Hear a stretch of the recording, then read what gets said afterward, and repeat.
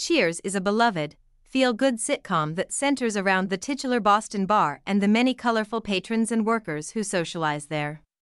The celebrated comedy ran from 1982 to 1993 for 11 seasons and received 28 Primetime Emmy Awards during its highly buzzed about tenure.